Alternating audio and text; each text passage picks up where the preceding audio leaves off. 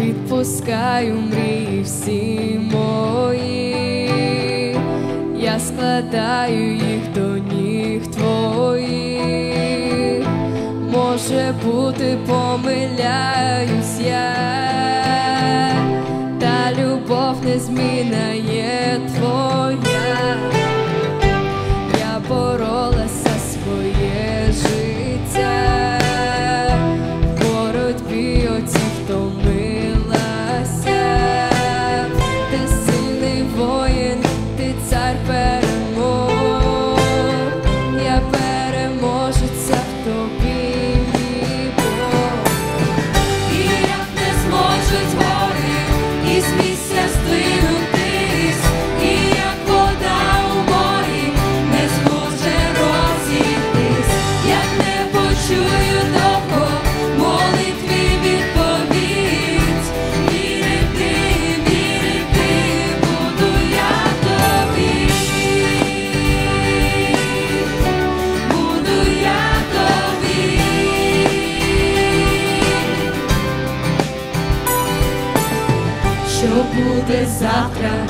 Не знаю я.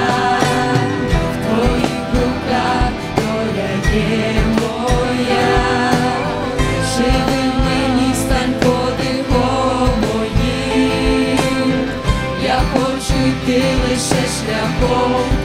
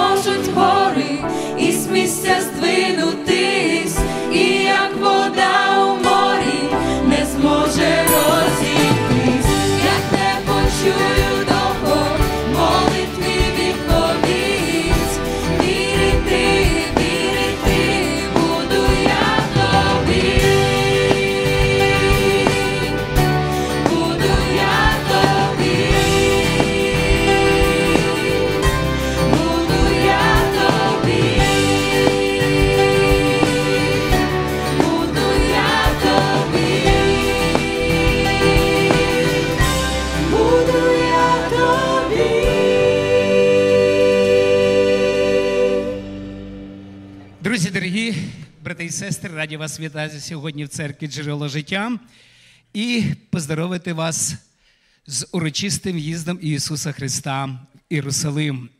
Ми раді, що ви сьогодні прийшли поклонитись нашому Господу, співати, слухати Слово Господнє і збудовувати нашу віру. Привітайте один одного, будь ласка, святом і подякуйте Богу, що Господь продовжив наше життя бачити один одного і мати спілкування. Якщо ви бачите невідомих, незнайомих людей, познайомтесь, будь ласка, хто сидить у вашому ряду, і ви не знаєте його ім'я. Будь ласка, знайте, хто праворуч біля вас сидить. Познайомтесь, тому що ми є одна велика християнська родина. Ми називаємося брати і сестри, ми називаємося діти одного батька. Читаємо разом з вами Євангелія від Іоанна, 19 розділ з 35 віршу. І привели вони його до Ісуса, і, накинувши свій одяг на осля, вони посадили Ісуса. Дітки вже кінчилось привітання, вони ще вітають один одного і знайомляться. Коли ж він наблизився до схилу гори Іліонської, почала вся безліч учнів, радіючи славити гучним голосом Бога за всі чудеса, які вони побачили, вигукуючи, благословен цар, що гряде в ім'я Господнє, мир на небі, слава вишніх. І він сказав у відповідь, і деякі з фарисеїв із натовпу сказали йому: Учителю, заборони своїм учням. І він сказав у відповідь: Говорю вам, якщо вони замовкнуть, то каміння завалає. І як тільки він наблизився, побачивши місто, він заплакав за ним, говорячи: О, якби ти пізнала в цей день твій, що служить твоєму миру, але нині це сховано від твоїх очей. Бо прийдуть на тебе дні, твої вороги зведуть навколо тебе частокіл і оточать тебе, і стиснуть тебе звідусюди, і зрівняють із землею тебе, і дітей твоїх у тобі, і не залишать у тобі каменя на камені за те, що ти не розпізнала часу відвідання Твого. Ось яка подія залишена євангелистами. Ісус Христос, ви знаєте, не один раз входив в Єрусалим, але це особливий вхід, особливий в'їзд. Я би назвав інаугурація. Приблизно біля 50 тисяч людей, які зустрічали нашого Господа Ісуса Христа по-різному. І ви знаєте, я чую не один раз із проповіді ось ці люди, які кричали Осана, і через декілька днів вони будуть кричати Розіпни його. Але ви можете думати, як, як хочете. Але дивіться, ці люди, які були готові кричати Розіпни, ось це вони сказали, скажи, щоб вони замовкли.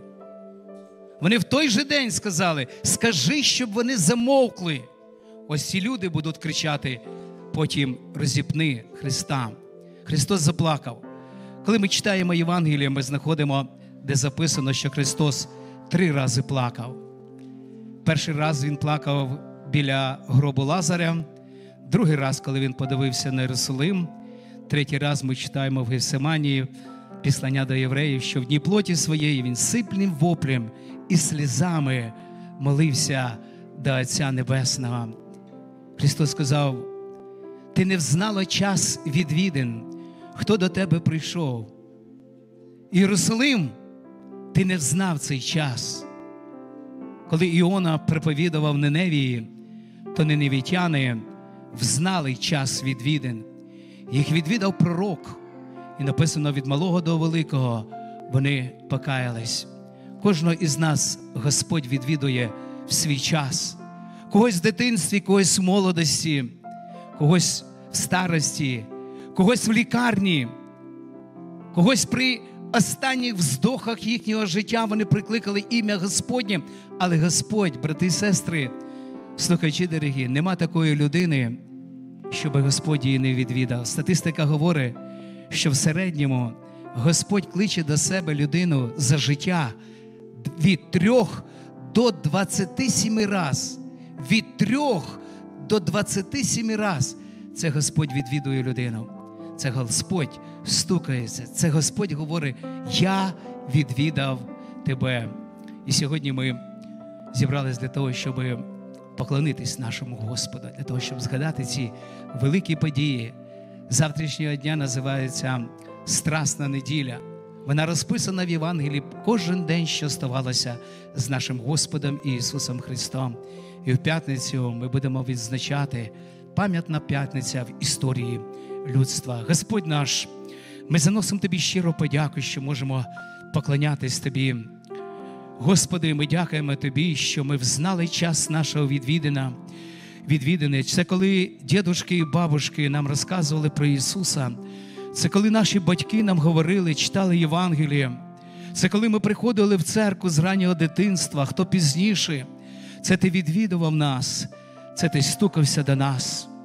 І оглядуючись на своє життя, придивляючись його, Господи, скільки раз Ти хотів нас обняти, скільки раз Ти покривав нас крилами своїми, скільки раз Ти зберігав наше життя і продовжував своє милосердя. Це все були відвідини. І ми дякуємо Тобі, Господи, що коли Ти відвідав нас по-особливому, і ми покаялись перед Тобою, заключили з Тобою заповіт. Христос, коли дивився на свій народ, Він заплакав. заплакав, дивився і сказав: О, якби ви взнали! О, якби ви взнали час відвідин, це не Іона прийшов, це не Ян Хреститель прийшов, це сам Бог з'явився у тілі для того, щоб заплатити рахунок, який був відкритий в Єдемському саду Адами і Єві, Адамом і Євою. Христос прийшов для того, щоб повернути те, що було втрачено. Це блажена вічність, це спілкування з Богом. І ми дякуємо тобі, що кожного із нас ти відвідуєш. І навіть через цю епідемію, яка йде по всьому світі, ти даєш нам можливість задуматися, що це робиться в світі, що це робиться з нашим життям. І Христос сказав, що коли ви побачите все те, що це збувається, це я відвідав вас, це я вас попереджую, що приближається той час мого повернення за церквою. Ми просимо Твого благословіння, Господи, на проповідь. Просимо Твого благословіння на наших діток, на нашу молодь, на кожну душу, яка присутня, на кожну душу, яка приєдналася для того, щоб слухати, для того, щоб молитись, для того, щоб проставляти ім'я Твоє. Всі ми потребуємо виповнення Духом Твоїм Святим, для того, щоб співати, для того, щоб славословити, для того, щоб проповідувати, для того, щоб відкривати уста для молитви. Тому хай ім'я Твоє святиться в житті нашому, і по-особливому святиться в сьогоднішній день. Ми поклоняємось Тобі, ми прославляємо Тебе. Ти є Бог над богами, і Ти є цар над царями. Ти тримаєш все в своїй руці. Тому хай наше серце буде відкритим для того, щоб слухати, для того, щоб виконувати Слово Твоє у нашому повсякденному житті. Хвала Тобі, асана Тобі, Алілуя, Бога Отцю, Сину і Духу Святому. Амінь.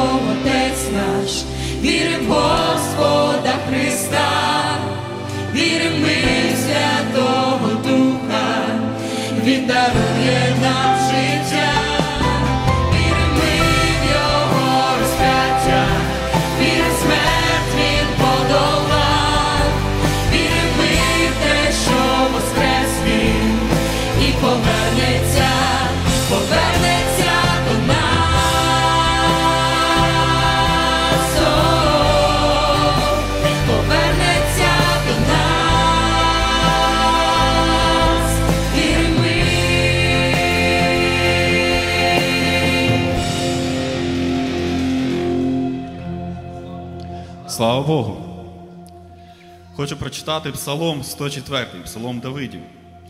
Дякуйте Господу, кличте ім'я Його серед народів, звіщайте про чини Його, співайте йому, грайте йому, говоріть про всі чуда Його, хваліться святим Його іменням, хай тішиться серце, шукаючи Господа.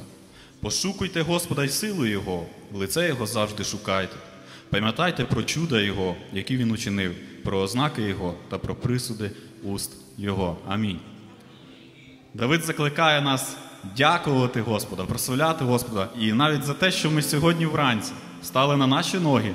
Цей чудовий сонячний день, який створений Богом. Ми прийшли в дім молитви, щоб поклонитися йому в піснях, молитвах. Тому давайте разом співати. Якщо навіть, можливо, і не знаєте пісень повністю, підхоплюйте музику, слова і будемо співати нашому Господу, тому що Він достойний всієї слави. Амінь.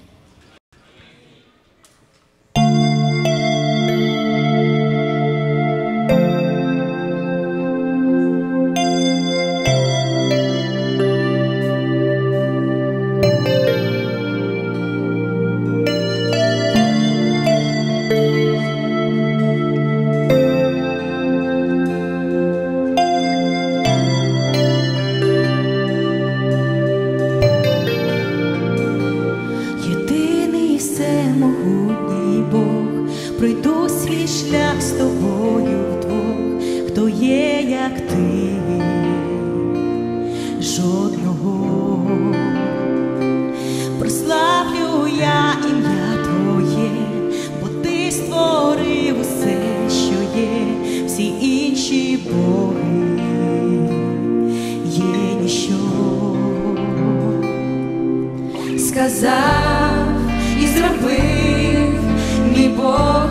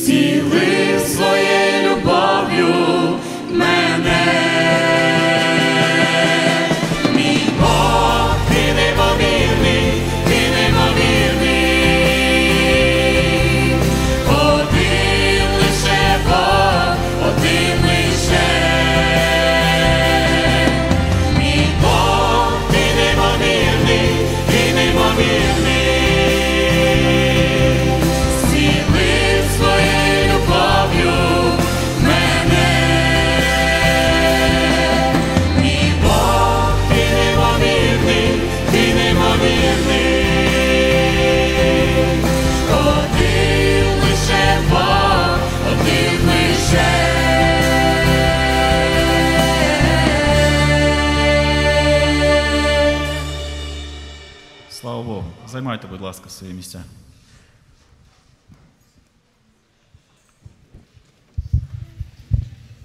Вітаю вас, друга церква. Привіт! Дітки, якщо е, в нашій церкві ще є діти, які сидять біля батьків, і ви хочете бути біля нас, тут рядышком, підходіть сюди. Тут ще багато місця на полу, новий карпет, чистенький. Вам буде тут удобно, приємно сидіти. Підходіть, підходіть, не бійтеся, да? дуже багато місця є. У вас, звісно, набагато більше, ніж було на першому потоці. Я вам скажу, вам трошки більше повезло, ви виспались. Тим хлопчикам і дівчаткам, які були на першому потоці, вони трошки були сонні. Ну нічого. Вони вже під кінець проповіді проснулись. Тут є. Е, ладно, розгадаю вам, дам вам відповідь на, роз, на загадку, тому не буду казати. Скажу пізніше. Я хочу вам сьогодні розказати одну історію, яка сталася дуже давним-давно в ізраїльському народі. Історія про одного хлопчика, який був написано отраком. Я думаю, йому було років десь 10-12 приблизно. І він жив в такий період часу, його сім'я жила в такий період часу, коли в ізраїльського народу ще не було царя. І люди не дуже хотіли слухатися е, закону Божого. Навіть е, дехто з служителів при храмі не, не робили свою е, справу служіння відповідно. І це ми читаємо в Слові Божому. І дуже рідко Бог говорив до людей. І ось жила одна сім'я, чоловік і жінка, і у них довший час не було дітей. І вони молилися, щоб Бог їм послав дитину. І через деякий час в них народився маленький хлопчик. І коли він трошки підріс, його мама відвела його в храм для того, щоб він служив в храмі. І він там жив в храмі. І кожного року мама приходила в храм і приносила йому нову одежку, тому що він з кожним роком підростав, йому треба було вже нову одежку. І відвідувала його там. Скажіть, будь ласка, ви знаєте, про кого мова йде? Самуїл. Правильно, Самуїл. Отлично. А серед вас є Самуїли чи немає? Хто? Правильно, на першому потоці аж три Самуїла було, на другому не одного. Ну нічого. Це другий раз і справимо. Молодці. Я хочу прочитати історію, яка случилася з цим хлопчиком Самуїлом. Вона записана в першій книгі Самуїла, третій розділ з першого вірша. Якщо у вас є Біблія, ви можете відкривати. 1 Samuel chapter 3. Хорошо? І ми будемо читати. Я буду читати медленно, потихеньку, щоб ви все дуже запомнили хорошо. Добре? Отож, читаємо. А отрок Самуїл служив Господеві при Ілії, а Господнє слово було рідке за тих днів. Видіння були, було нечасте. І сталося того дня, коли Ілій лежав на своєму місці, а очі його стали затемнятися, він не міг бачити. І поки Божий світильник ще не погас, а Самуїл лежав у Господньому храмі, там, де Божий ковчег, то покликав Господь до Самуїла: Самуїле, Самуїли. А він відказав: Ось я. І побіг він до Ілія та й сказав: Ось я, бо ти кликав мене. А той відказав: Я не кликав, вернися, лягай. І він пішов і ліг.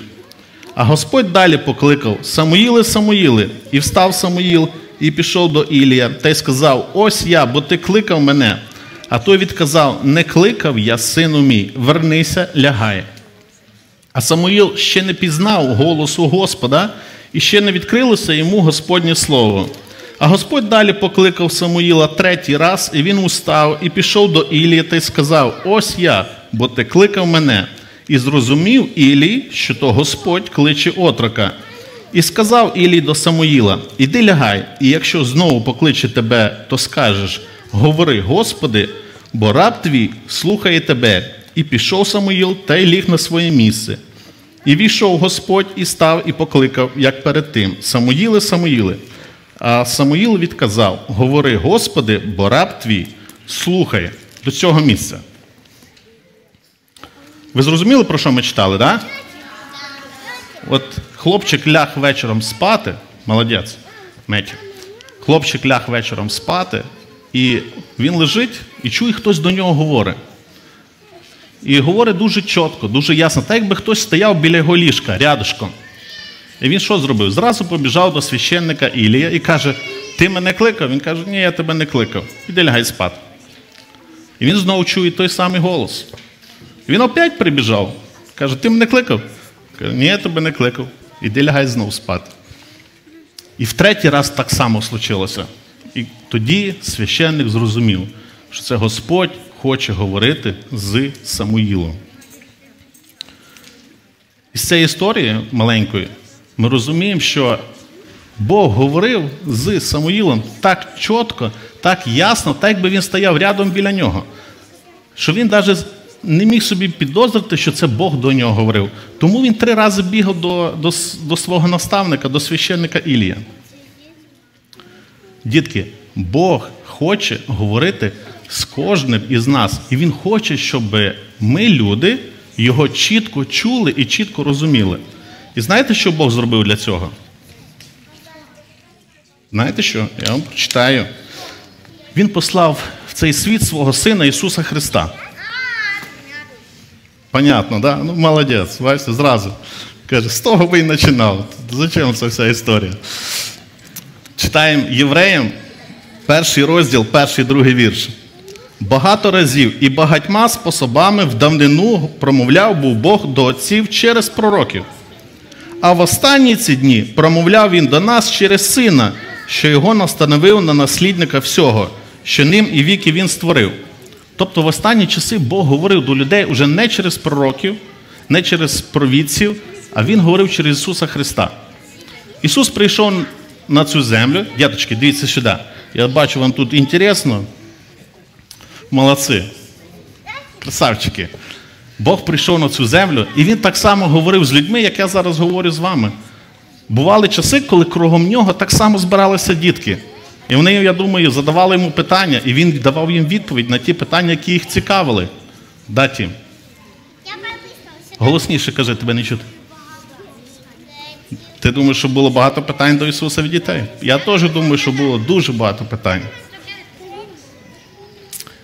Але Ісус Він не тільки говорив з людьми, Він говорив, коли було багато натовпа. Да? Ми знаємо е, історії з Біблії, коли Ісус говорив один на один з людьми, як з жінкою біля керниці, як з е, учителем Никодимом, Він говорив наодинці.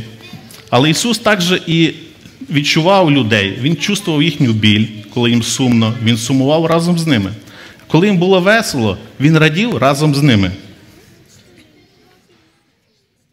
Але одного разу, діточки, послухайте, зараз саме-саме-саме важна мисль. Послухайте.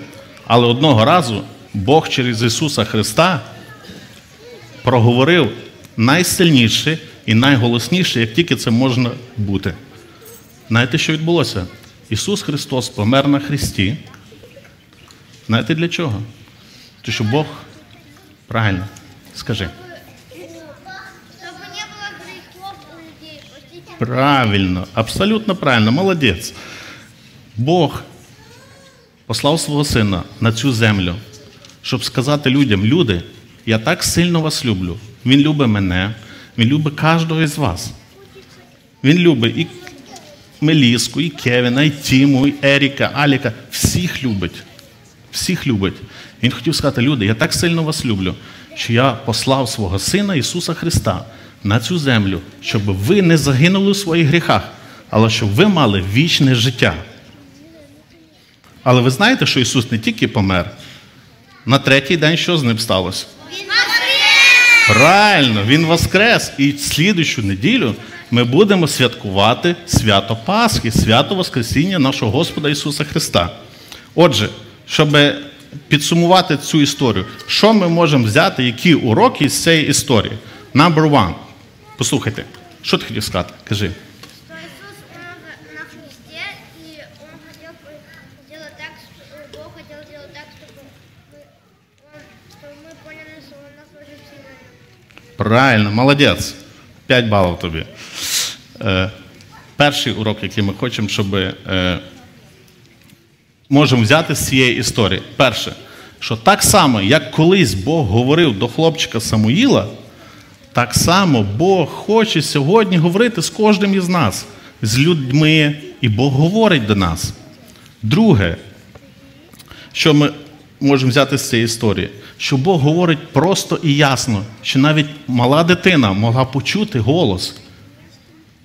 І Бог говорить до нас, знаєте через що? Через Слово Боже, да. А це слідуючий урок, що Бог послав Ісуса Христа на цю землю, і Ісус говорив слова, які зараз є записані в цій книзі. І якщо ми хочемо чути Бога, ми повинні частіше відкривати Слово Боже. Четвертий пункт, уже цей хлопчик тільки що сказав. Як тебе звати? Як тебе звати? Да? Лёва Лев. Льова Лев. Красота. Льова Лев, я не знаю, як по батьку. Льовович, наверное. Льова Лев Льовович. Дабл, трипл Л. Не знаю. Молодець. Льова Лев, значить. Він сказав четвертий урок із цієї історії, що Бог так сильно нас полюбив, що віддав свого Сина Ісуса Христа за мене, за кожного, за Маріам, за її сестричку Елизабет, за всіх, за всіх, за всіх, за всіх дітей, за кожну людину на землі, щоб ми не загинули і мали життя вічне. І п'ятий урок, який ми беремо із цієї історії, це більше стосується старших людей і нас як батьків. Що коли Бог перший раз заговорив до Самуїла, Самуїл ще не міг зрозуміти голос Божий. І завдання нас, як батьків, нас, як служителів, навчити своїх дітей чути голос Божий.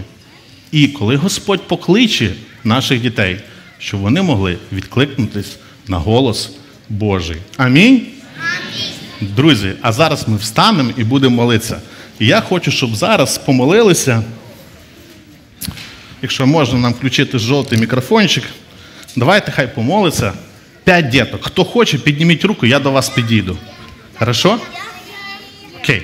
Давайте будемо молитися. Церква, підтримуємо наших дітей в молитві. І коли вони говорять амінь, ми повинні сказати чітко, громко, ясно, що ми согласні з молитвами наших дітей. Амінь? Будемо молитися.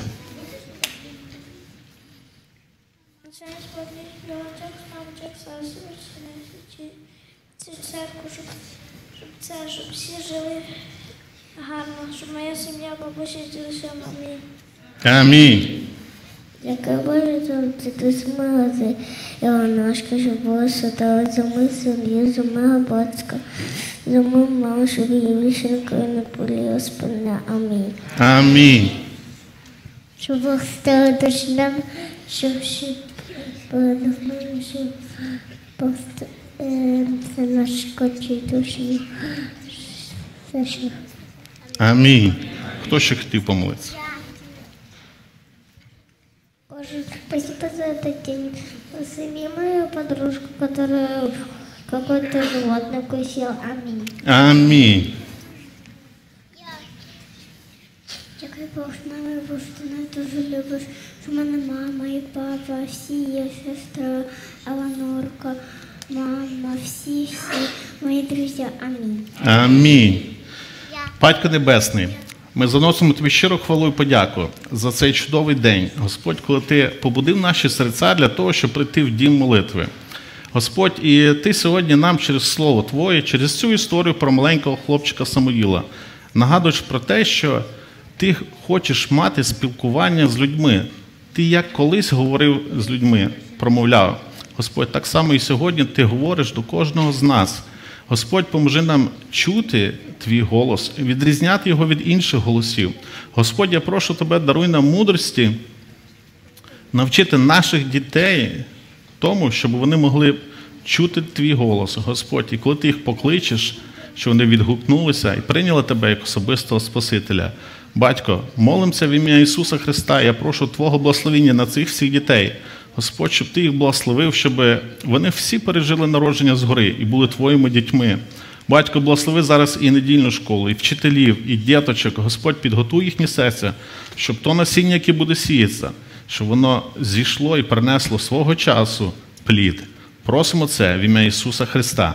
Амінь. Амінь. Дітки, ви можете йти в недільну школу. Батьки сестри, ви можете сідати.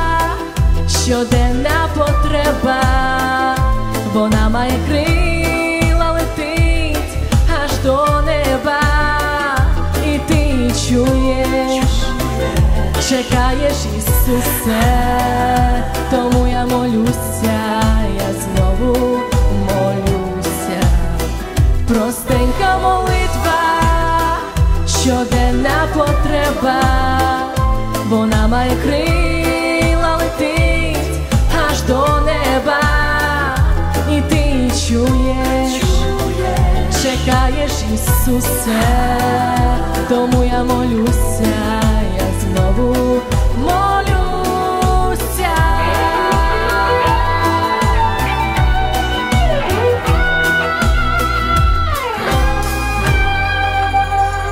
Ти той же щоденно у будні та свята. Рука твоя радістю, щастям багата маєш весь світ на пробитій долоні, ти знаєш молитву і мами, і доні. Простенька молитва, щоденна потреба, вона має крила летить аж до неба, і ти чуєш. Ісуса, тому я молюся, я знову молюся.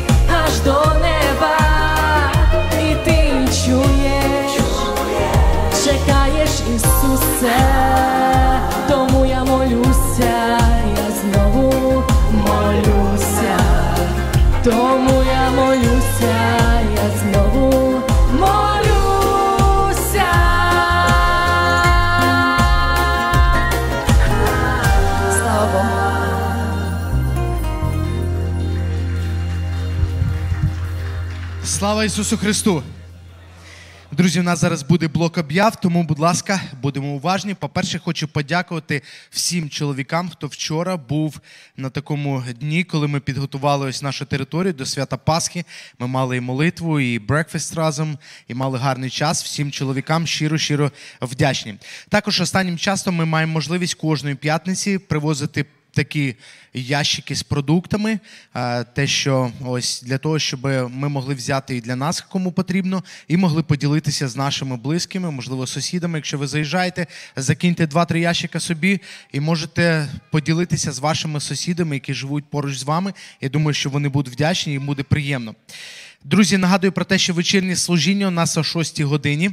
Якщо у вас є діти, особливо ми вас заохочуємо, запрошуємо. Зранку в нас два служіння українською мовою і вечірнє служіння у нас англійською мовою.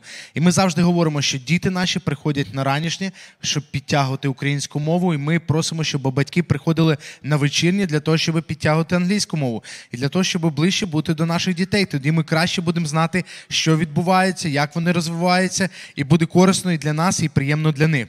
А також у нас будуть проекти на протязі ось зараз цих свят.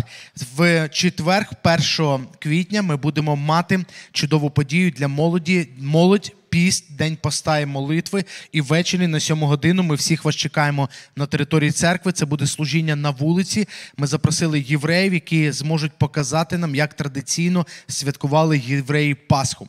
Тому, будь ласка, молодь, четвер, це буде четвер, 7 година вечора, 1 квітня. Ми вас заохочуємо. У нас буде служіння Good Friday, це п'ятниця. П'ятниця це вечеря Господня, або так як в Біблії описується подія. Ми будемо мати хліболамання, Євхарістія, будемо участвувати в причасті. В п'ятницю буде у нас два служіння, теж будуть нестандартні служіння на 6 годину і 8 година вечора. Друзі, плануйте ваш час, заохочуйте ваших близьких, друзів. Служіння будуть короткими, але ціленаправленими, щоб ми приготувалися до Пасхи. Також у нас буде пасхальний концерт. Це не служіння, трошки не в форматі служіння. Це буде концерт, і особливо концерт для тих, хто не знайомий з церквою. Тому ми заохочуємо, щоб ми запросили наших друзів. Для цього потрібно зареєструватися. Місця лімітовані. В принципі, майже я думаю, що місця вже зайняті, але можливо, якщо ви перевірите на нашому вебсайті або на нашому епі ви зможете побачити і зареєструватися. Ми вас заохочуємо. Це буде субота, ось такий пасхальний концерт, 7 годині вечора, тут на території церкви. Друзі, пасхальне служіння. По тому, що багато хто з нас заскучав за Україною. Минулому році мало хто з нас їхав в гості. Ми прийняли рішення для того, щоб зробити трошки за ну раніше, ніж ми робимо зазвичай. Це буде 7 година ранку і 10 година ранку. Якщо у вас маленькі діти, ми вас запрошуємо на 10 годину ранку. Якщо вам складно, прокинуться раніше. Якщо немає дітей, приходьте на 7 годину ранку. Але в принципі, для того, щоб можливо трошки щось змінити в нашому розкладі, класно би було 7.15, якщо я не помиляюся, якраз встає сонечко. Тобто, уявіть собі, що ми приїдемо на територію, якщо дасть Бог нам життя, і якраз буде сонце підніматися, і ми будемо в церкві починати пасхальний день з поклоніння нашому Богу і святкування. Тому ми вас заохочуємо з будь-який час, який зручний для вас. Приїжджайте, підтягуйте ваших дітей, родичів, близьких, друзів на Пасху, запрошуйте в церкву. Буде особлива дитяча проповідь з такими наявними прикладами. Основна проповідь. Ми будемо мати гарний час спілкування. І останнє е, з цього списку, який я зачитую, в нас планується такий місіонерський тренінг. Це особлива подія для нашої церкви. Ми раз в рік прокачуємо наших людей для того, щоб ми мали і бажання, і можливість запрошувати нецерковних людей в церкву. Це робиться дуже просто. Інколи я себе ловлю на думці про те, що коли я зустрічаюся з людьми, які не з церкви, я інколи не знаю, як з ними спілкуватися. І я думаю, більшість з нас, тому що ми, наше коло спілкування, більшість воно таких церковних людей. Тому ми хочемо трошки поговорити, як правильно спілкуватися з людьми, як можна правильно, елементарно розповісти Євангелії, запросити людей в церкву. Для цього ми запросили цього молодого чоловіка, який з Клівленда, Огайо. Він прилетить до нас, він викладає в американських університетах і багато зустрічається з питаннями про те, що діти повертаються з університету з розбитою вірою християнською. Тому ми хочемо, він говорить трьома мовами вільно: українською, російською і англійською мовою. Звати його Роман Шеремета. Він буде, якщо дасть Бог Бог життя буде разом з нами, і ми хочемо мати таке спілкування. Ви бачите, там є ціна за те, щоб попасти на цей тренінг. Повірте, що ми маємо достаток для того, щоб все оплатити. Але ми дивимося слідуючі речі і спостерігаємо, аналізуємо. Коли ти робиш повністю безкоштовно, люди якось нехтують цим.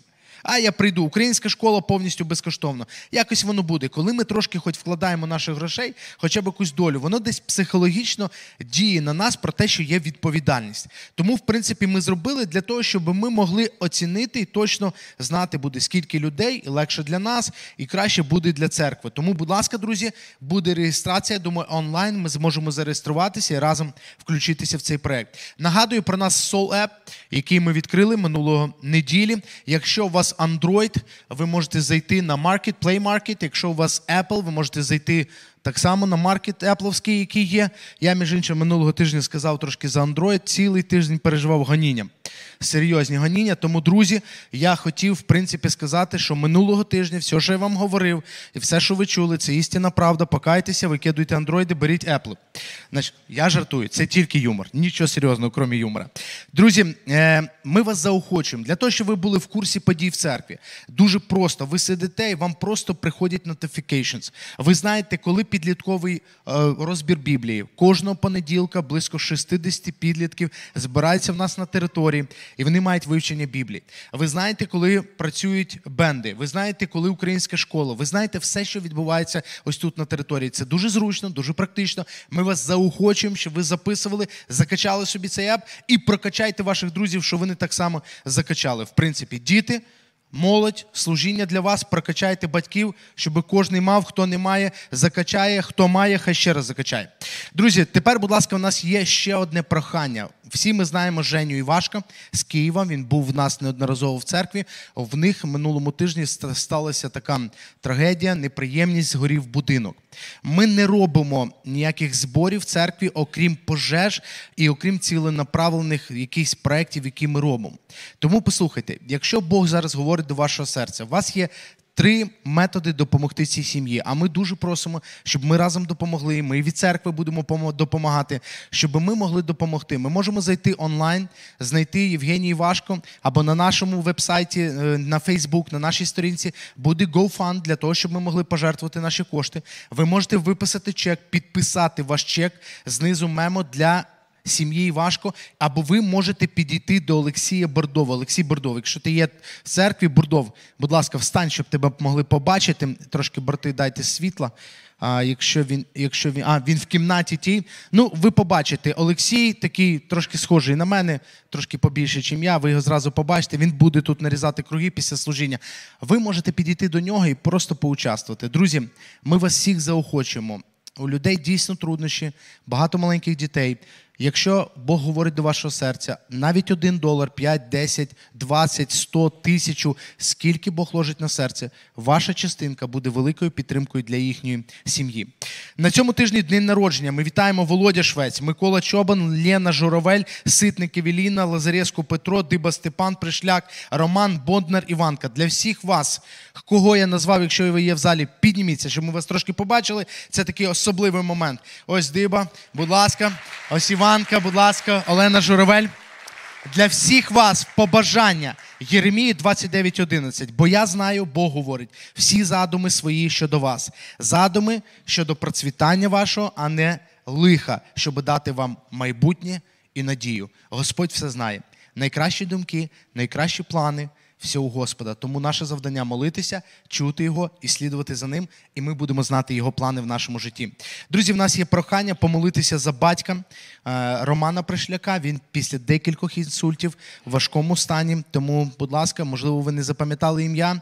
Просто моліться за людей, які хворіють. У нас дуже великий список. Я дуже вдячний сестрі Зіні Корчевій, всій команді, яка працює. Вони переписуються постійно. Новини, хтось додається, когось вони вже забирають, тому що хтось виздоровів, а хтось переселився в небесне царство. Тому ми розуміємо, друзі, що це нас не торкається, поки ми не хворіємо. Повірте, послухайте, всі ми будемо хворіти, і всі ми будемо помирати. Тому інколи потрібно, я говорю про це, інколи потрібно навіть церкві, ви знаєте, поверніться до вашого сусіда, ну не робіть це. І скажіть, що скоро ти помреш. Знаєте, зразу якось неприємно нам. Послухайте, ми живі люди, ми ніхто нічого не знаємо. Ми сьогодні живемо і завтра можемо не відкрити очі. Ми сьогодні сідаємо в автомобіль і можемо не доїхати додому. Ми можемо просто не прокинутися. Нам потрібно молитися за людей, які приймають сьогодні переносять труднощі. Тому що коли ми будемо в труднощах, будуть молитися за нас, а ми будемо в труднощах. Таке наше людське життя. І Василь Степанов так само, щоб ми молилися за його здоров'я. На першому потоці ми представляли Бондаренко Леонід, Світлана, їхній син Дмитро. Вони приїхали з України. Ми раділи разом з ними, що вони тут, в цій країні, і благословляли їх. Друзі, давайте ми разом піднімемося, помолимося, буде збір. Ви можете пожертвувати. Коли ашери будуть пускати ось тарілки для того, щоб пожертвувати, ви зможете зробити це онлайн. Ми щиро вдячні кожному члену церкви, кожному, хто є в церкві, що ми разом маємо достаток від наших спільних пожертв. Господь Бог наш, ми дякуємо тобі за те, що ти даєш можливість сьогодні поклонятися тобі. Ми вдячні тобі за те, що, Господи, церква Твоя, вона незмінна, жива. Ми дякуємо Тобі за те, що Ти керівник церкви, Господи. Ми сьогодні молимося і дякуємо Тобі за всіх, у кого день народження. Ми дякуємо Тобі за всі проекти і події, які відбуваються тут на території. Ми вдячні Тобі за кожну нову людину, яка сьогодні прийшла разом з нами поклонитися Тобі. Ми сьогодні, Господи, не тільки дякуємо, ми молимося за нашу країну, за Україну, за Ізраїль, за інші країни. Ми сьогодні молимося за нашого президента, за його команду, Господи, щоб Ти дав мудрості цій команді правильно керувати. Ми сьогодні молимося, щоб кожен мав достаток, Господь.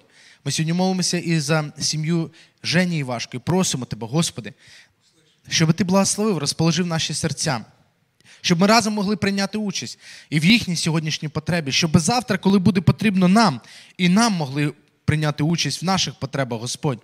Ми сьогодні молимо за тих, хто хворіє, просимо Твоєї милості, оздоровлення. Ми молимо за наших дітей, особливо за підлітків. Ми молимо за тих, хто бореться сьогодні з різними залежностями, Господи. Ми сьогодні молимося за наших вагітних сестер, благослови їхній плід в утробі, щоб вони винесли, народили цих діток правильно сформованими для Твоєї слави і нашої радості. Ми сьогодні, Господи, молимось до Тебе за мудрість розуміти час, в який ми живемо, і розуміти, що Ти хочеш, щоб ми робили, і куди Ти хочеш, щоб ми рухалися. Ми дякуємо тобі за роботу, дякуємо за здоров'я, що ми маємо достаток. І сьогодні, Господи, хочемо уважити Тебе і віддати частинку наших коштів для Тебе в знак поваги і подяки, Господь. Прийми це з нашої руки і благослови наших всіх місіонерів, Господи, всіх наших друзів, хто працює і служить Твоєму святому імені. Почуй, Господи, нашу молитву, будь возвеличений і будь прославлений наш Бог, наш Цар Ісус Христос. Амінь. Сідайте, будь ласка, ми будемо співати і участвувати в пожертвах. О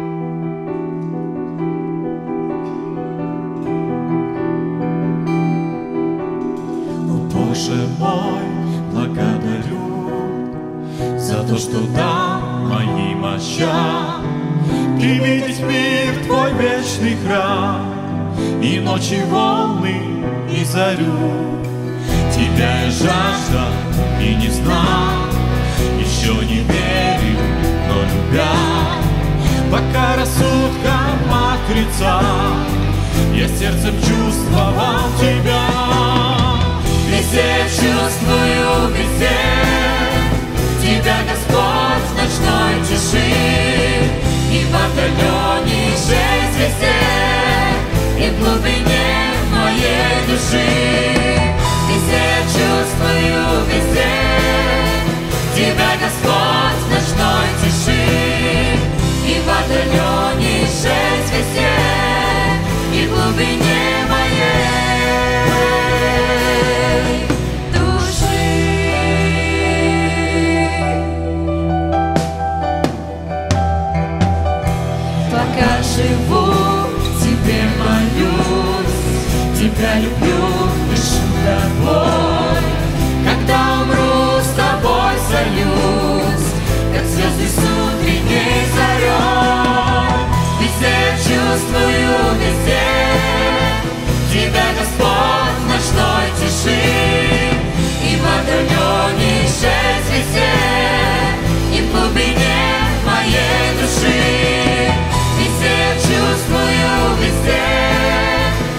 тебя, Господь, в ночной тиши и в отдалении шесть везде, и в глубине моей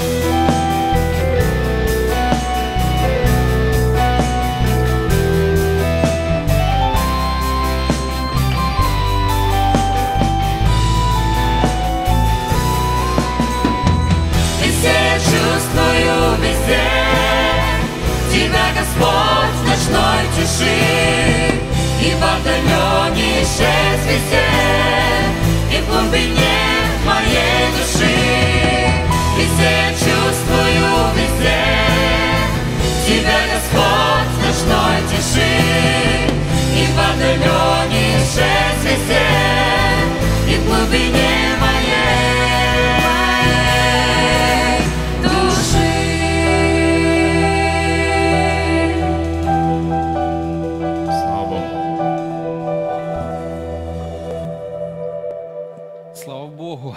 Дякуємо, гурт Надії. Яке ж це велике благословіння відчувати Господа, відчувати його скрізь, а більше того, відчувати в глибині своєї душі.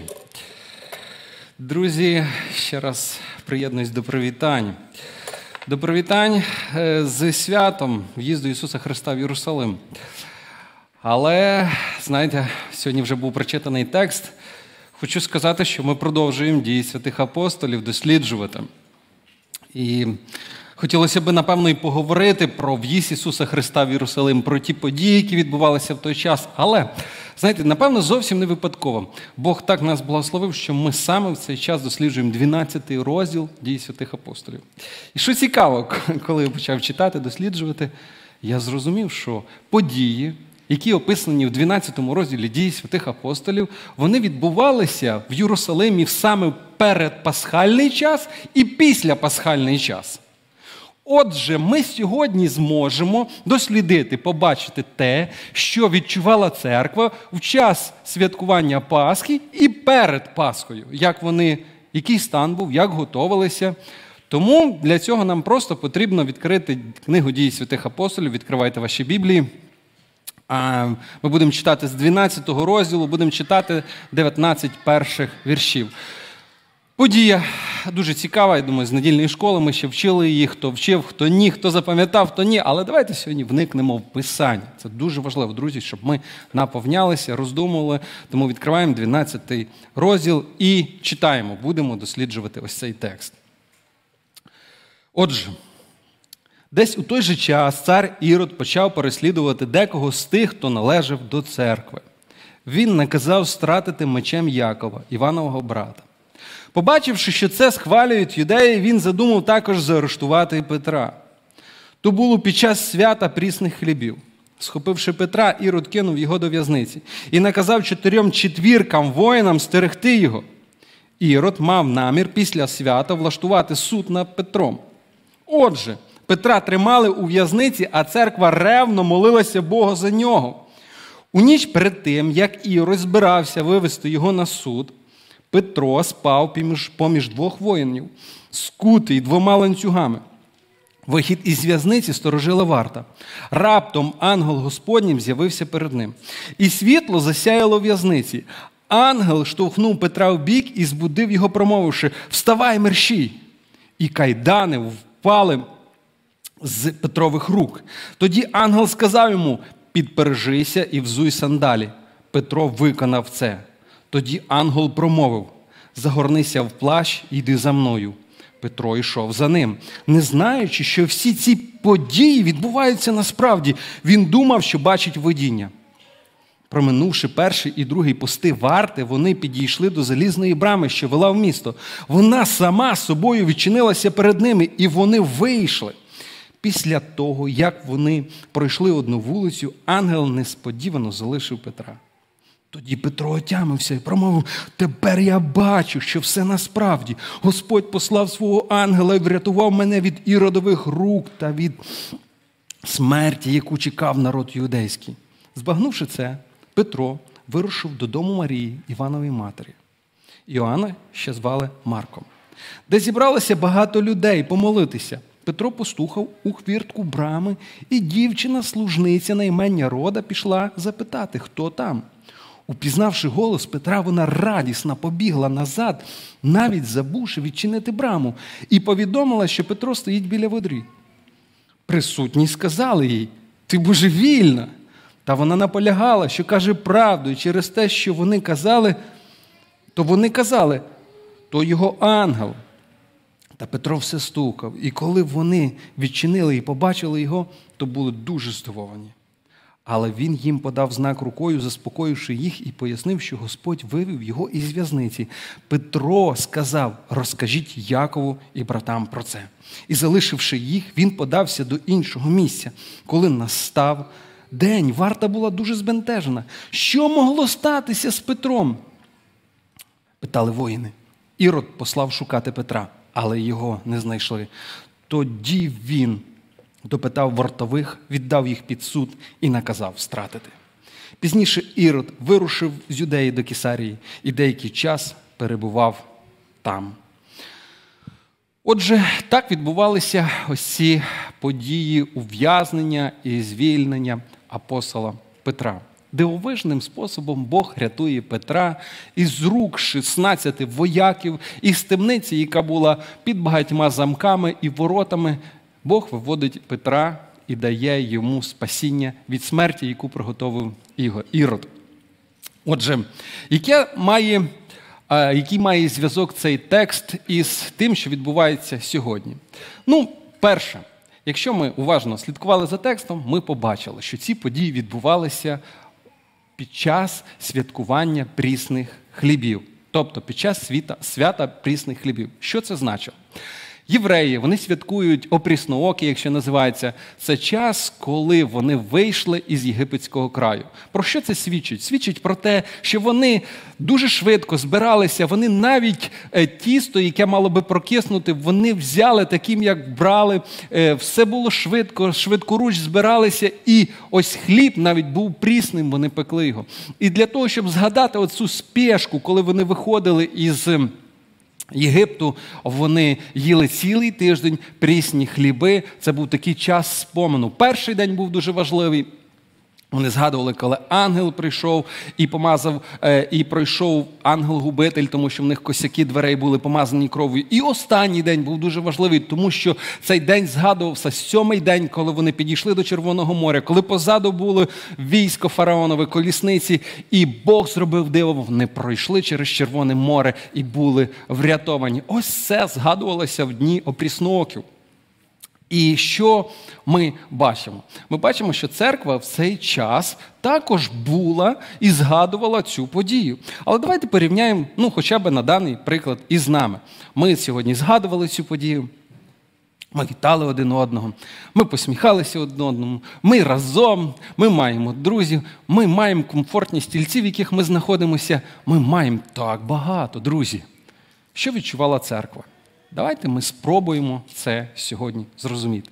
Саме дивлячись на церкву і дивлячись на ті події, які розбивалися в той час, в моєму серці виникла думка назвати ось цю проповідь замах, дуже дякую. Замах на віру.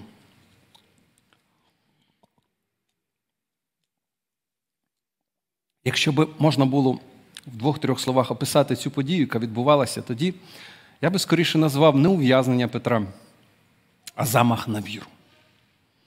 Замах на віру всієї церкви. Чому так? Давайте ми спробуємо дослідити і подивитися на серце церкви в той час, саме тоді, 44-й рік приблизно після народження Ісуса Христа. В той момент був страчений Яків.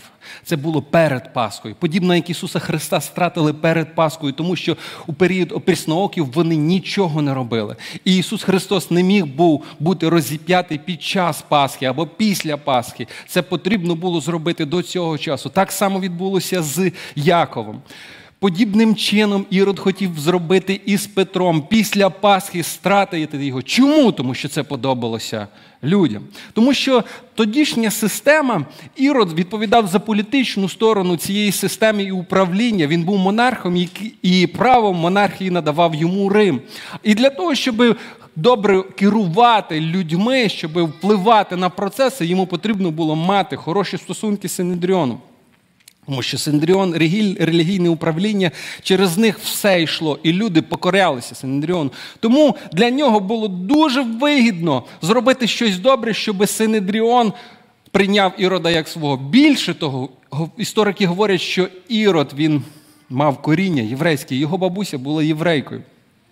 І його приймали дуже як свого, навіть інколи давали читати Тору в синагогах. Отже, він діяв так, як було йому вигідно, для того, щоб використати свою владу у зміцненні впливу на людей, де він знаходився. Ірод був внуком Ірода Великого, тобто того Ірода, який е, знищив немовлят, який переслідував Ісуса Христа, який названий Іродом Великим і який побудував, відбудував Єрусалимський храм. Вибачте. Отже, церква перебувала в непростому стані. Давайте подивимося на церкву, що відбулося. Яків страчений, Петро у в'язниці. Хто являлися ці двоє мужів, апостолів? Пам'ятаєте, хто йшов на гору преображення? Яків, Петро, Іван. Тобто три основні стовпи церкви, три, які були найближчі до Христа, і два із них. Один вже загинув, другий на межі. Давайте ми відкриваємо Писання і слідкуємо за текстом. Отже, перший тезіс, перший тезіс, який ми можемо побачити тут, який стосується віри в цілому, теми віри, е, я назвав його під час випробувань віра стає найдорожчим даром.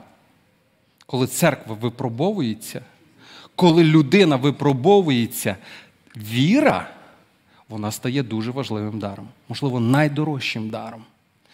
Тоді ти, ти не можеш вплинути якось, щось зробити. Різні обставини бувають. Але якщо в тебе є віра, якщо є міцний стержень, вона буде тримати тебе, вона буде вести тебе. Тому що під час випробування віра стає найдорожчим даром. Давайте ми дивимося на церкву, як реагувала на ці події церква. Дивимося п'ятий вірш. Давайте ми зачитаємо п'ятий вірш. Що відбувалося? І пишеться, читаю із перекладу UMT.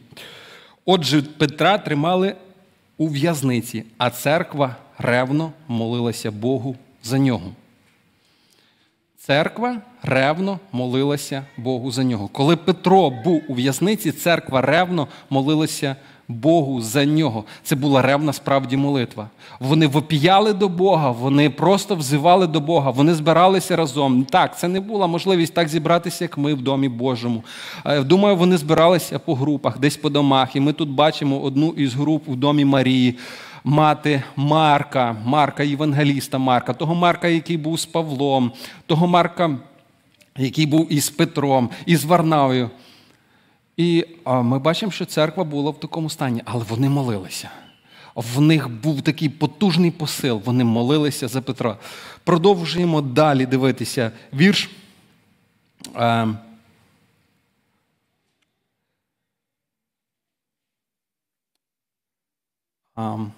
вибачте. Отже, 12-й вірш. 12-й вірш. Ем, збагнувши це, Петро вирушив додому Марії, Іванової матері, де зібралося багато людей помолитися. Отже, в останню ніч перед стратою, ймовірною стратою Петро, церква збиралася разом. Церква була разом. Для чого вони зібралися? Вони навіть ночі були разом для того, щоб молитися, щоб Бог зробив чудо, щоб Бог звільнив Петра. Скоріше за все, вони саме за це молилися. Можливо, вони молилися вже і для того, щоб вони могли вистояти під час цих випробувань. І дивимося далі, де говориться про, про церкву. І е, вірш 15. Вірш 15. Дивіться, коли вже Петро приходить, він стукає в двері, коли Бог чудесно звільняє його, підходить він додому Марії. Який далі процес відбувається? Давайте зверніть, будь ласка, на це особливу увагу. 15-й вірш говорить нам про це. так? Ось коли почула служанка рода, що хтось стукає в двері, вона повертається до церкви, тобто до учнів остальних, які зібралися на молитву, і, вон, і що, яку вона відповідь чує? Присутні сказали їй, ти божевільна? Та вона наполягала, що каже правду. І через те вони сказали, то його ангел. Уявіть собі ситуацію. Друзі, Я не хотів би виявитись в такій ситуації. Уявіть собі ситуацію, коли церква молиться, вона збирається щоденно. І тут Бог дає відповідь на молитву, і тут відбувається справжнє чудо. І коли Петро вже прямо біля дверей він стукає, він хоче зайти, він розуміє, що цей будинок 100% під наглядом. Вони не вірять, вони не вірять в те, що відбулося. Можливо, сумніваються. Я не знаю точно, але чому була така реакція? Важко сказати. Але якщо ми глибше подивимося на життя церкви і в тому стані, якому перебувала церква, то ми зрозуміємо те, що все ж таки віра, вона, вона терпіла нападки. Тобто відбувався замах саме на віру оцих людей. Дивіться, яка була стратегія у Ірода? Це ж не просто було знищити людей. От можна було вирвати декілька сім'ї з церкви, там в'язниці, там інше, і десь придушувати. Він бив саме по лідерах церкви. І він розумів, якщо я знищу апостолів, далі буде знищена віра цих людей. Вони не отримують те, що вони отримували завжди.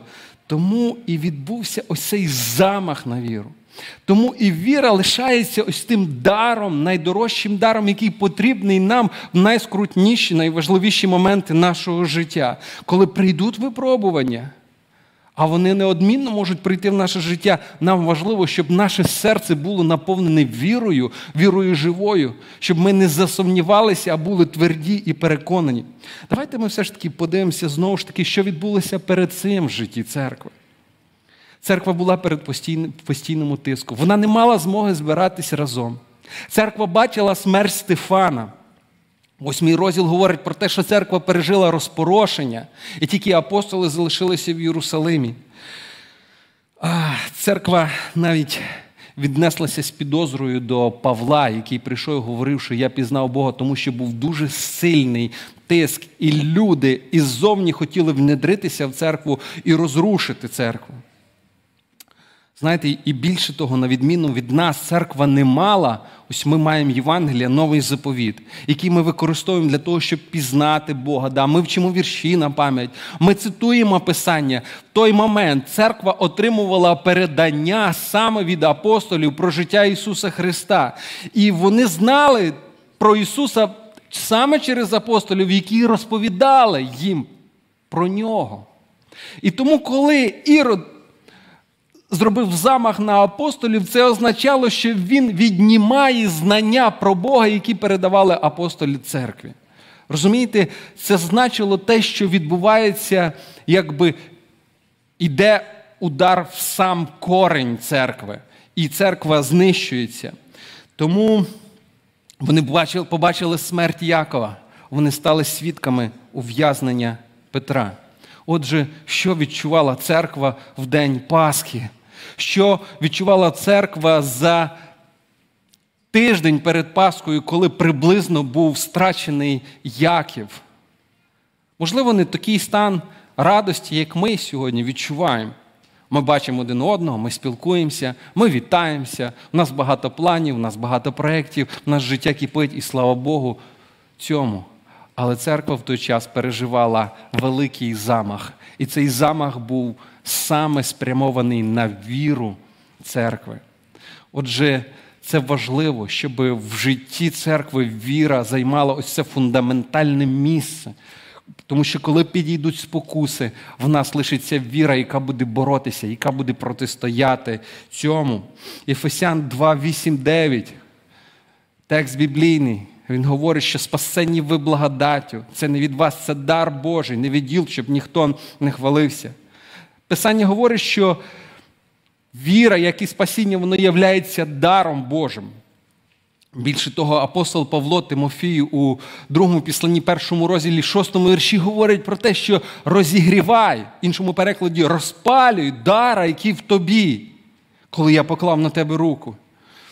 Отже, розпалюй того дара. Тобто, ми можемо сказати, збудовуй з цього дара віри, наповнюй цей дар віри, використовуй його, не присипляй свій дар віри. Чому? Тому що вона так нам необхідна. Більше того, віра являється нашим щитом. Біблія говорить, Єфесян 6,16.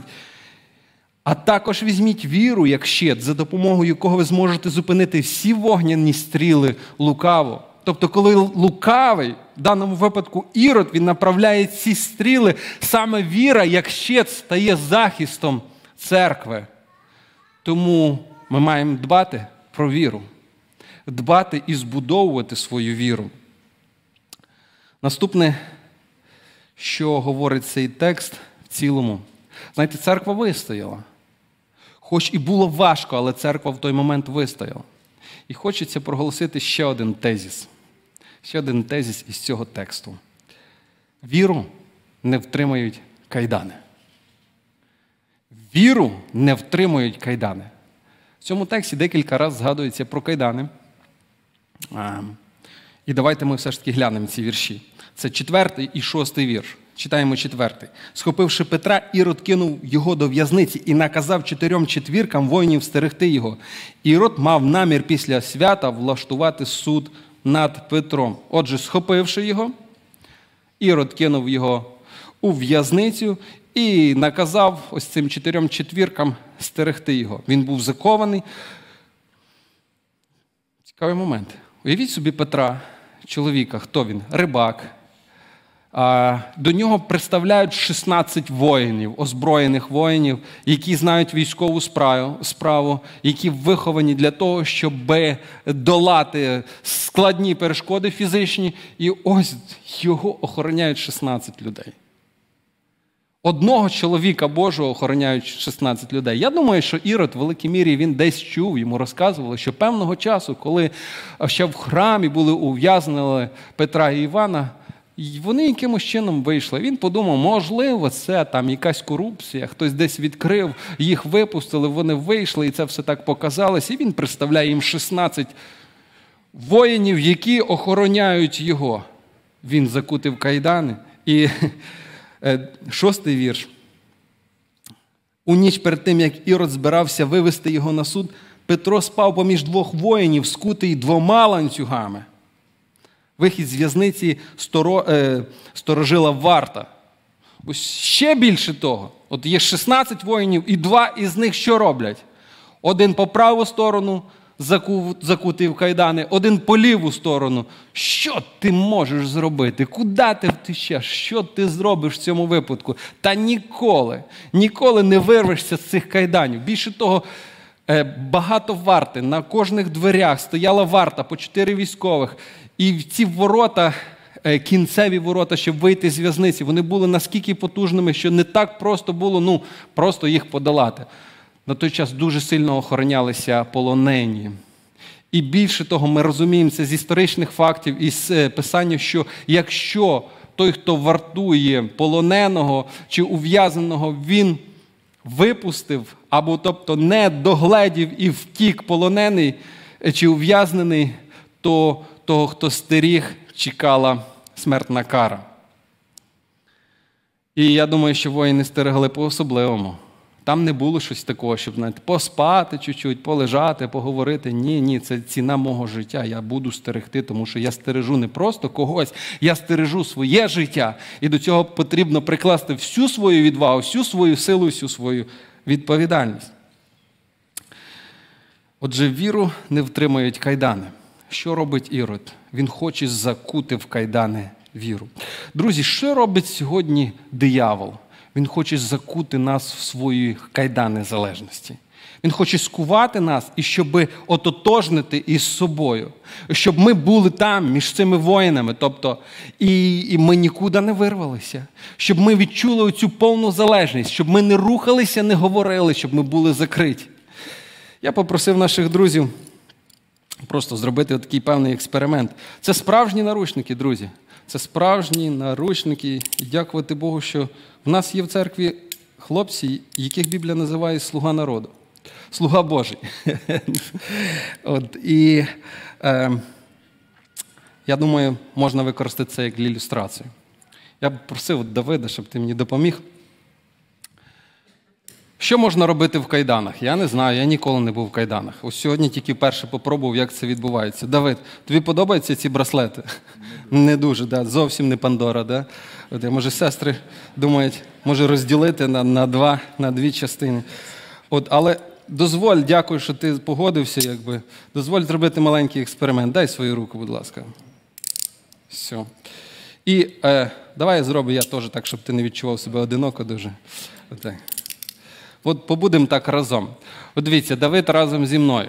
І що виходить? Він, він якби зобов'язаний бути там, де я. Він був зобов'язаний робити цю жестикуляцію рук. Він, він залежний від мене. Він зобов'язаний просто, от, якщо я загубив ключ, то ти будеш стояти до кінця проповіді. Ось тут. Якби. Е, слава Богу. Я думаю, він не до ні, ні, ні, друже.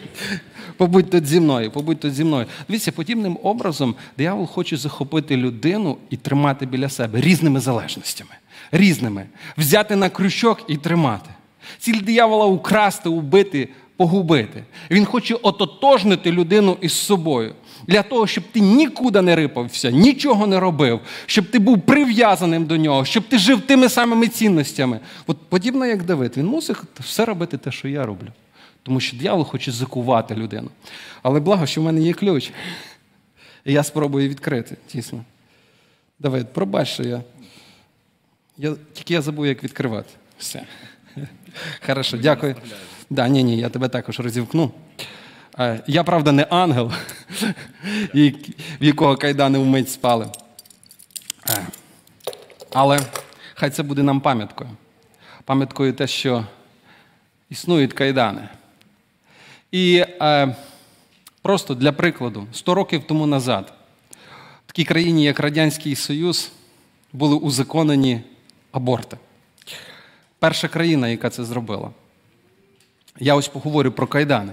Були одітці кайдани.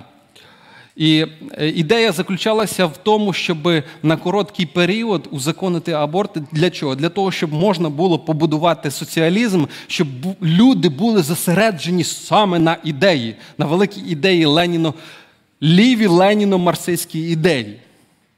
І перша країна, яка це зробила, це був Радянський Союз.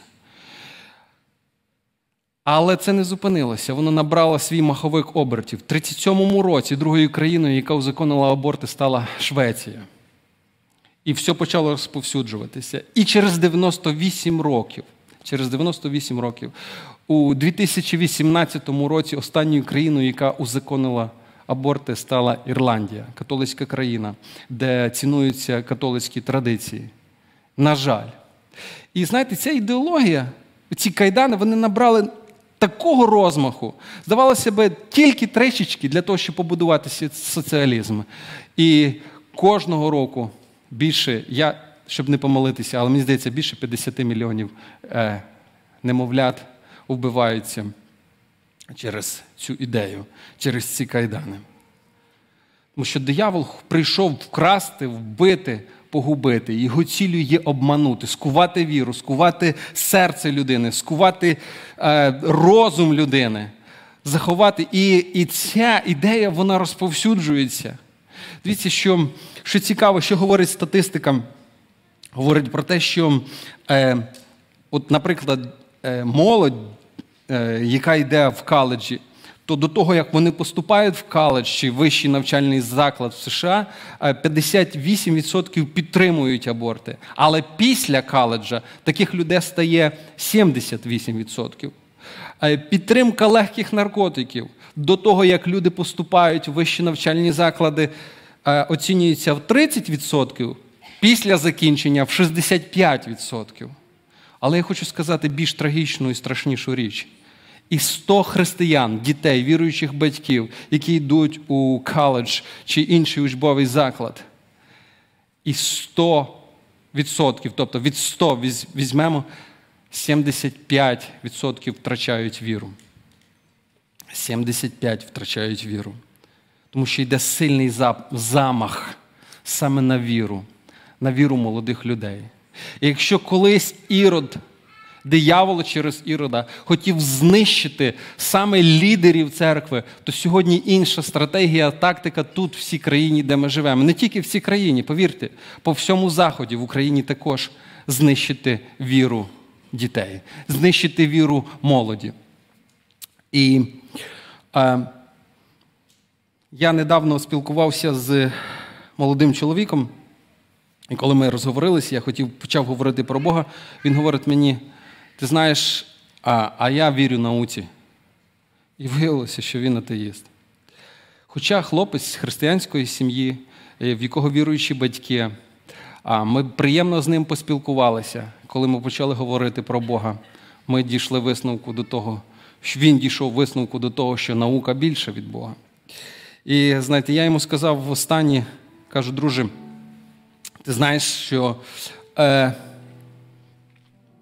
якщо я помиляюся, якщо я помиляюся, то е, я нічого не втрачаю.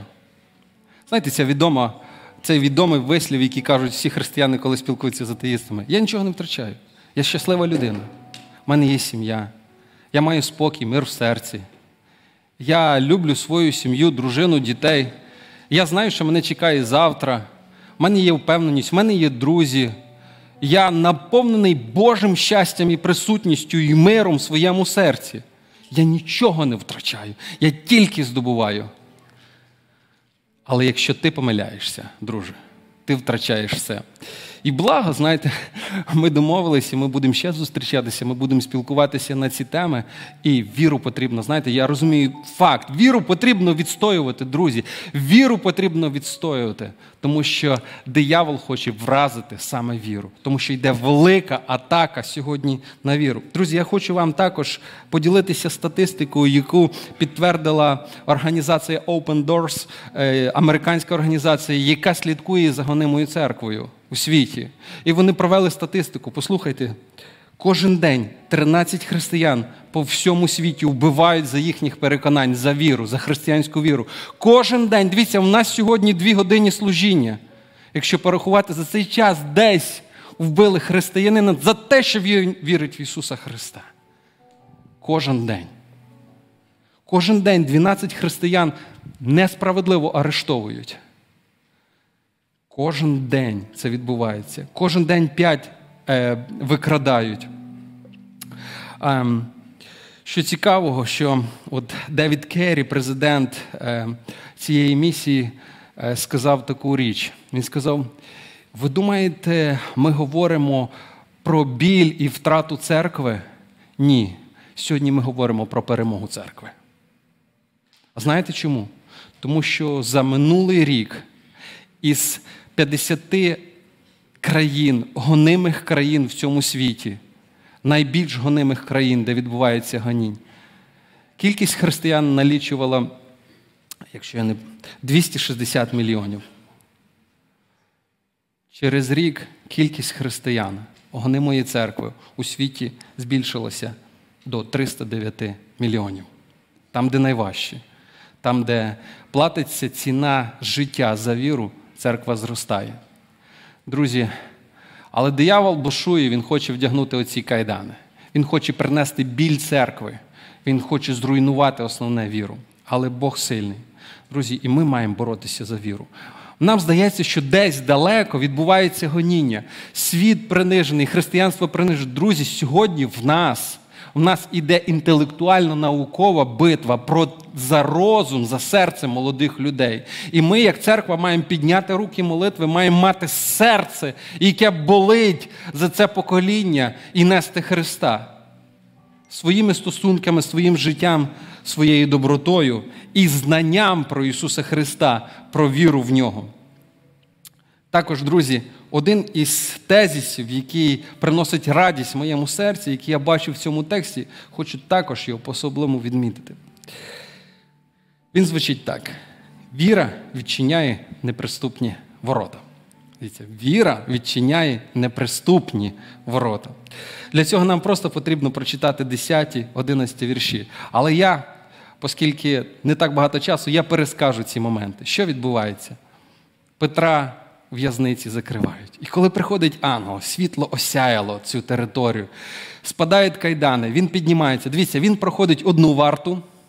Він проходить другу варту. Варта стояла біля дверей, замкнутих желізних дверей. Це не було просто, що стоїть просто собі варта отак. Він проходить одні ворота, він проходить другі ворота, він підходить до великих воріт, міцних воріт, і вони самі відкриваються, друзі. Але зауважимо інший момент. Коли Петро підходить, коли вже він попрощався з ангелом, так він сказав: Вау, це насправді це було так. Це це реальність, це не сон. Алілуя! Да? Він підходить, він знає, отут мають бути мої брати і сестри. Він стукає в ці двері, рода чує його, біжить розказати про це іншим. А двері закриті. А двері закриті, і ці служанки приходиться переконати всіх остальних, що Петро живий, що він тут під дверима, що він стукає. І я думаю, Петро собі в той момент стоїть під дверима, думає, Господи, так я пройшов одні ворота, другі, 16 воїнів, які мене охороняють. Желізні ворота відкрилися величезні самі. От тут я біля своїх рідних братів і сестер, і двері ніхто не відкриває. Ну чому так? Чому так? А знаєте, тут проста істина. Знаєте, коли ми йдемо з Божою силою, коли ми йдемо під Божим впливом, під Божим керівництвом, ворота найважчі відкриваються. Здавалося б, те неприступна фортеця вона відкривається. Бог руйнує всі кордони, Бог руйнує всі прегради, Бог веде і дає силу, і ми йдемо і перемагаємо. і Кажемо, Господи, а як це сталося? Як це відбулося? Що це було? А потім здається, ну я вже такий. Я вже вмію, я вже сильний, я вже маю досвід, і коли десь чуть-чуть я звучить, хоп, і на самому рівному місці. Біблія говорить, хто стоїть, бережися, щоб не впав. Ти не знаєш, де тебе чекає оцей несподіваний такий удар. Справді, але хвала Богу, Петро достукався. Знаєте, що це мене вчить? Я пам'ятаю один епізод, декілька епізодів. От ще знову ж таки чомусь згадую сьогодні Радянський Союз, бо там багато говорилося, там багато було цих кайданів, де був великий замах на віру, але церква встояла. Я пам'ятаю, як мене вчили в школі, що Бога немає, і це нереальність. Але один прекрасний момент я був здивований до сліз. Коли в мій клас зайшли чоловіки, яких я ну, думаю, хто вони такі, для чого це під час уроку зайшли, вони в них в руках були коробки. І коли вони почали виймати сині книжечки з, з цих коробок, я не знаю. Друзі, я хочу ридати від щастя, що відбулося в той момент. Так, це були Євангелії. В тій самій школі, де мене вчили, що Бога немає, я отримав свою першу Євангелію від Гедеонових братів. І моїм здивуванням не було меж, тому що коли ми виходили, кожен школяр тримав в руці Євангелію. Хтось казав, що це за книга, хтось казав, о, які листочки, з них самокрутки можна робити. Хтось казав, та не можна, це гріх, Бог покарає. Але я радів тому, що відбулося, друзі.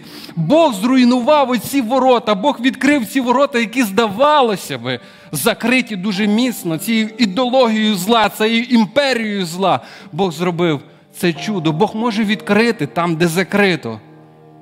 І порою, коли ми хочемо щось себе доказати, пронести себе, ми можемо напоротися на щось дуже неприємне. Не хочу сказати, що Петро хотів щось доказати. Чи просто це до прикладу, те, що відбувається. Друзі, також із тієї школи, чомусь згадую цю школу, я пам'ятаю свою першу вчительку. Дуже хороша людина. Е, але мимоволі, будучи заручницею системи, в тій, якій вона знаходилася, їй приходилося говорити в цій школі, що Бога немає. Але прийшло мало, небагато, 15 років. І ця вчителька стає моєю другою мамою, тобто тещею. І вона вона знаходить Господа, приймає хрещення, стає активним членом церкви. Да. І моя дружина тут присутня. Але знаєте, в чому парадокс? І е, мої тещі, мами, е, мама також була вчителькою школи і е, також була заручною цієї системи. Але Бог зробив чудо. І більше того, пройшов короткий час, і моя дружина Альона пішла в цю саму школу, і вона викладала в цій школі християнську етику. Друзі, читала 19-й псалом, де говориться, що одні чим хваляться кіньми, колісницями, атомними бомбами. А ми будемо хвалитися іменем Господа. Вони похилились і впали. А ми будемо хвалитися іменем нашого Господа. Друзі, Бог відкриває ворота, але потрібно йти. Потрібно вірити, потрібно боротися, потрібно не опускати руки, тому що Бог сильний і всемогутній, і Він нам дасть силу. І ні в якому разі не покладатись на себе, не казати, оце ми такі хороші, оце, тому що в мене такий талант, тому що я я до, своїм досвідом щось зробив. Господь дає силу, Господь дає відвагу. Друзі, і пам'ятайте, віра вистоїть до кінця. Що б там не було, які би не були статистичні погані дані, щоб ми не бачили навкруги нас, віра вистоїть до кінця. Головне, щоб ми були в числі тих, хто вистоять, хто вистраждають, хто пронесуть цю істину через все своє життя. Нам потрібно бути в кількості, в числі тих людей, які стоять. Дивіться, Петро був звільнений коли? В сьомий день, останній момент, коли здавалося вже все. Коли вже здавалося, вже все пройшло, і ось вранці Ірод планує зробити суд і зразу, одразу зробити що? Страту Петра. Останній момент. Петро стукав до кінця в ці двері, щоб вони відчинилися йому, і церква відреагувала. І він зайшов і побачив своїх братів і обняв їх. Сто відсотків обняв, я вірю в це. Знаєте, сьогодні гурт Надія виконав цікаву пісню, яку виконує Лоран Дейгал. І в ній є такі слова. Навіть якщо не буду довго чути відповідь на молитву, я все одно вірю. Потім була заспівана пісня Newsboys Вірю я. Друзі, я, я собі подумав, о, ще би була третя пісня, знаєте, теж Newsboys God Not Dead. Напевно, це би були якраз всі пісні підібрані під цю проповідь. Але Бог так склав, знаєте, не випадково, що саме ці пісні сьогодні співалися. Да, якщо навіть я не буду довго чути відповідь на молитву, все рівно я вірю. Знаєте, що Йов сказав: Я знаю відкупитель мій живий. Він підніме мою шкіру, моє тіло з цього пороху, він відновить мене. Я знаю, мій відкупитель живий. В той момент, коли він говорив, що я дивлюся на заход, тебе не бачу, дивлюся на схід, на південь, на північ, я не чую тебе, я кличу до тебе, озвися до мене. Ти не відкликаєшся, Господи, але потім я знаю, відкупитель мій. Живий, він не втратив віру. Навіть тоді, коли було найважче, коли його тіло було покрите струпами, коли він черепком скрептав своє тіло, і поряд друзі, які говорили йому, ти неправильно робиш, ти неправильно живеш. Він сказав: Я знаю, відкупитель мій живий. Отже, в останній день свята опрісновків, в останній день, коли Ізраїль відзначав вихід з Єгипту, і коли перед ними стояла перешкода, Бог звільняє Петра. Останній момент, коли здавалося, що Петро буде страчений, подібно як всьому Ізраїлю перед Червоним морем, здавалося, що все, тут кінець, ми вийшли, і зараз ці колесниці нас повністю накриють. Бог робить чудо, величезне чудо, і море розходиться, і вони проходять по суші. Подібним чином вони відмічали, і в цей останній момент Бог рятує Петра. Друзі, віра встоїть до кінця. І ми повинні це пам'ятати. Ми повинні пам'ятати, що церква буде, і ворота пекельні її не здолають, друзі. І ми маємо жити життям церкви. Ми маємо збудовувати нашу віру, щоб ми були тверді. Тому що коли прийде час випробування, ми маємо мати основу. І цією основою буде наша віра. Ми не знаємо, що нас завтра чекає. Ми не знаємо. Але ми маємо бути впевнені, ми Божі діти, ми Його церква, ми рухаємося і існуємо тільки завжди завдяки ньому і будемо продовжувати йти. Отже, виникає питання: як зберегти віру в час кризи? І така перша порада, яку хочеться сказати, ні в якому разі, друзі, ми не маємо дочікуватись в нашому житті кризи. Ні в якому разі. Ми маємо будувати, формувати нашу віру кожного часу, кожного дня. Ми маємо мати ось це духовне наповнення яке допоможе нашу віру будувати і збагачувати. Віра це дар, але Бог каже, возагрівай, тобто розпалюй цього дара, наповнюй цього дара. Бог дав, подарував, як ти використаєш, то, що тобі Бог подарував. Користуйся правильно. Біблія говорить, що віра від слухання. Коли ти впускаєш свій розум, своє серце, правильну інформацію, правильний контент, тим ти будеш наповнити. Китайці говорять, ми їсть то, що ми їдімо. Тобто ми є те, що ми їмо.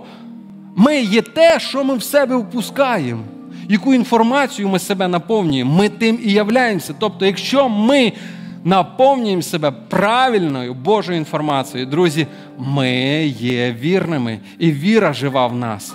Коли ми даємо місце дияволу, то він відвоює територію і він хоче надіти оці браслети на нас і контролювати нас через різні засоби. Друзі, сьогодні так багато різних залежностей, через які диявол хоче проконтролювати нас. Тому важливо, важливо правильний контент пускати в своє життя. Біблія говорить про те, що ми маємо бути готові дати відповідь про нашу надію кожного часу. У післанні Петра Петро же той же говорить про це, що Господа Христа святіть, і будьте кожного часу готові дати відповідь про вашу надію. Де б тебе не запитали вночі, вдень, на дорозі, в церкві, де б ти не був, дай відповідь про твою надію. Чому ти надієшся в Бога? Чому ти приходиш в цю церкву? Я запитав свого сина, чому ти віриш? І він по-дитячому просто відповів мені, тому що ти мені про це говориш. Друзі, чому? Чому ти віриш в Бога? Який фундамент і основа твоєї віри? Ми маємо дати чітко цьому світові, собі, церкві відповідь, чому я вірю і як збудовується віра моя. І останнє, знаєте, що хочу чим поділитися. Вчора побачив такий трошки зворушливий навіть для себе момент, який мені дуже сподобався. Знаєте, отут сьогодні був хлопчик маленький. Він зараз в недільній школі Алік звати його. У нього така велика папка і маленька Біблія. І він сам такий маленький ростом. Минулої неділі він тут віджимався. Пастор Вадін трошки їх качав. От. І вчора він прийшов на чоловічий сніданок. Ну він чоловік, він прийшов на чоловічий сніданок. Все як правильно, все як положено. Але в нього було питання. Дивіться, маленький хлопчик, а яке, послухайте, яке в нього питання? Він запитав: якщо Бог любить всіх, то чи любить він диявола? І він з цим питанням підійшов до пастора Володимировича нашого. І я спостерігав цю картину. Коли Сергій Володимирович відповідає цьому маленькому хлопчику, це не була коротка відповідь. Він об'ясняв, щось йому там щось махав руками, розказував туди-сюди. І той хлопчик Алік слухає. І я потім підходжу до Аліка кажу: ну ти зрозумів, все нормально, ти отримав відповідь на питання. Да, все хорошо. І от, от сьогодні він він пішов в недільну школу, в нього в руках Біблія, в нього блокнот. Розумієте? Я цьому радію. Так має бути, друзі, коли діти, молодь до нас підходять з якимись питаннями, коли до батьків задають питання, важно сказати, ні, ти ще малий це знати. Я пізніше тобі розкажу. Не задавай багато питань, або ну я не знаю, колись дам відповідь. Ні, ми маємо реагувати на ці виклики. Сьогодні в молоді, в дітей багато питань. І порою складних питань, на які треба самим шукати відповідь. Морою, порою для себе потрібно шукати відповідь. Але головне не відкинути. Головне дати відповідь. Можливо, не зовсім навіть повноцінну, але шукати. Шукати відповіді на ті питання, які хвилюють сьогодні молодь, на які хвилюють сьогодні дітей. Тому що світ бореться саме за них, він хоче захопити їх. І в своїй біографії колись один відомий чоловік написав: я був християнином, і в мене були питання. І коли я підійшов, мені відповіли, що тобі ще заскоро знати відповіді на ці питання. Ім'я цього чоловіка ви добре знаєте Стів Джобс винахідник Apple, один із найуспішніших стартапів, можемо сказати, ХХ століття. Якщо б він отримав відповіді у свій час, можливо, віра би його не була загублена, друзі. Друзі, ми маємо боротися за віру. Ми маємо відстоювати віру. Ми маємо перемагати, коли диявол захоче одягнути на нас оці кайдани, і Бог нам дає силу. Тому ж Тимофію апостол Павло написав: бо не дав нам Бог духа страху, а сили, любові і здорового розуму. Важливо нам користуватися тим, що ми маємо сьогодні, тим даром віри, який ми маємо, збудовувати його, зміцняти і пам'ятати, що сьогодні йде війна за нас, за нашу віру. І ми маємо боротися за себе, за своїх дітей, за церкву, за світ, не бути байдужими, не просто потонути в власному комфорті і сказати, як добре, все чудово, все хорошо. Да, дуже добре, дуже чудово. Але крім того, йде велика війна. І ми маємо відстоювати віру в Ісуса Христа своїм життям, своїми словами, своїм дослідженням, знаннями, небайдужістю, молитвою за молоде покоління, молитва за служителів, які займаються з молоддю, з підлітками. Статистика говорить, що з 4 до 14 років це час, коли найбільше людей навертаються до Бога. Ми маємо боротися за це покоління. Ми маємо нести Євангеліє, в якому є жива віра. Хай Бог нас цьому благословить, друзі. І що хочеться запропонувати всім нам. Ми сьогодні співали пісню Вірю я. Вірю я. Давайте ми зараз ще раз. Я попрошу гурт Надія, щоб ми заспівали ще раз цю пісню, після чого ми помолимося і ми будемо мати гарний час. Тому виконаємо ці слова серцем.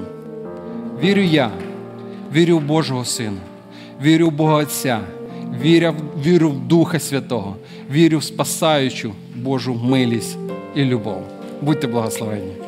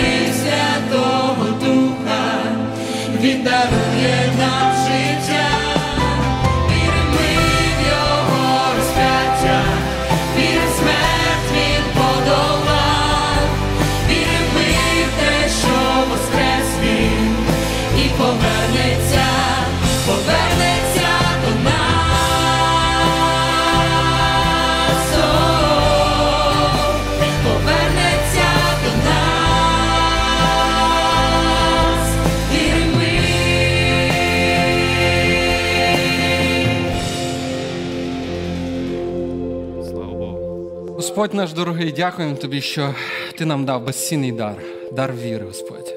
Що Ти нам дав дар спасіння моєї церкви Твоє, мої діти Твої.